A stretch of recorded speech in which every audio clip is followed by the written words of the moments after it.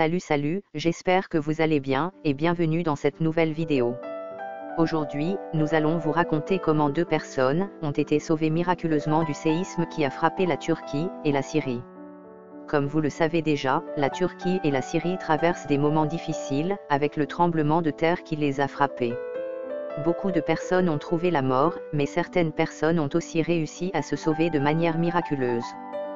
C'est le cas du footballeur camerounais, Kevin Sooni, sauvé parce qu'il attendait son heure de prière, et d'un bébé de 21 jours, Ali Ali Tala. Nous allons commencer par le bébé de 21 jours. Ali Ali Tala, ce bébé de 21 jours, a été retrouvé ce samedi dans la province d'Atay, en Syrie, après six jours passés sous les décombres d'un immeuble. Sa mère est morte, en le protégeant. En effet, sa mère a préféré se sacrifier, pour que son enfant puisse survivre. Elle s'est servie de son corps comme un bouclier, pour protéger son enfant des briques qui tombaient.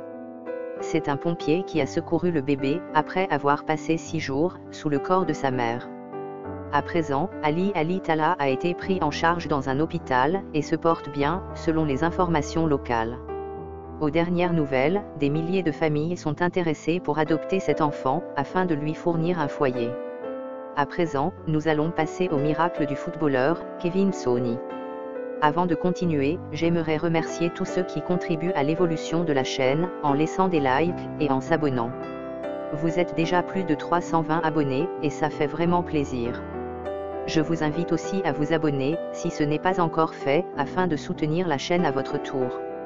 C'est complètement gratuit pour vous, mais ça nous aide énormément. Et en plus, ça ne vous prend même pas deux secondes pour le faire.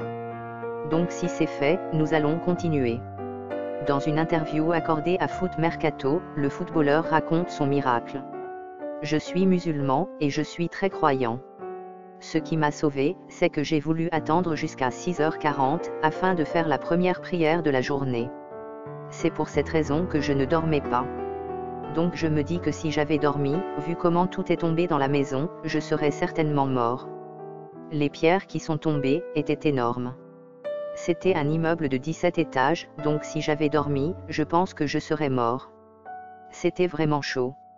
Après les événements, j'ai pris ma voiture pour me rendre aussi vite que possible au centre d'entraînement du club. Les joueurs y sont allés afin de se confiner on était en train de parler et d'essayer de manger quelque chose, mais le sol continuait de trembler. Toutes les dix minutes, il y avait d'énormes secousses. Pendant deux jours, on n'a pas mangé. On n'avait que de l'eau. On avait des fruits de temps en temps, mais il y avait des femmes et des enfants. Avec mes coéquipiers, on leur a laissé ces denrées. On ne mangeait pas, et on essayait d'aller chercher de l'eau afin que les femmes et les enfants puissent boire un avion est venu nous chercher dans la ville d'à côté, et on a tout laissé là-bas.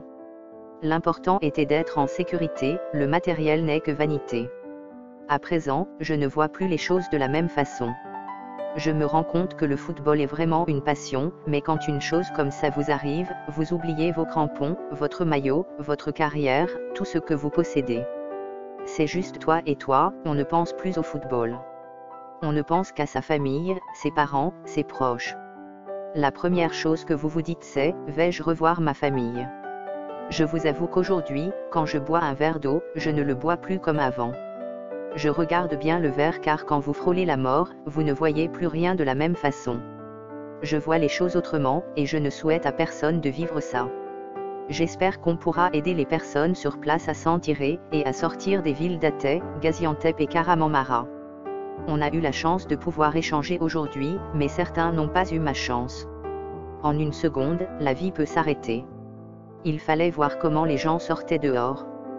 Ils se sont précipités, certains étaient même nus, car à ce moment, ils voulaient juste sauver leur peau.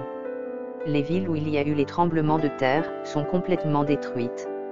Il y a eu beaucoup de morts, et j'espère que le bilan ne va pas trop s'alourdir. Ce genre de choses peut arriver à tout le monde, c'est arrivé en Turquie aujourd'hui, mais demain, ça peut se dérouler en plein Paris.